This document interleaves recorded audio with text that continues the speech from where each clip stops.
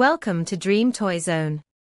If you enjoyed this video, please give it a thumbs up and subscribe to my channel. Your likes and subscriptions motivate me to create more content like this. Thanks for being a part of the Dream Toy Zone community.